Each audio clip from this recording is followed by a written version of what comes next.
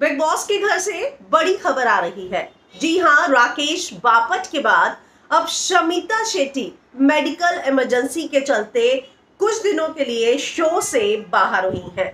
तो big boss तक की खबर के अनुसार, Shamita Shetty has been taken out of the Bigg Boss 15 house for couple of days due to medical reason she might return back to show by Tuesday और Wednesday तो दो दिन के लिए शमिता को बाहर किया गया है क्योंकि कुछ मेडिकल इमरजेंसीज थी और कल रात को वीकेंड का वार खत्म होने के बाद उनको अचानक थोड़ा सा नर्वसनेस जैसे कहा जाए, बेचैनी फील हो रही थी और डॉक्टर्स ने घर में विज़िट किया और उसके बाद उन्हें कुछ दिन के लिए आराम की सलाह दी है। तो अगर कहा जाए तो दो या तीन दिन के लिए, यानी कि कल रात को वो बाहर गई हैं, सोमवार या मंगलवार तक वो वापस आ जाएँगी।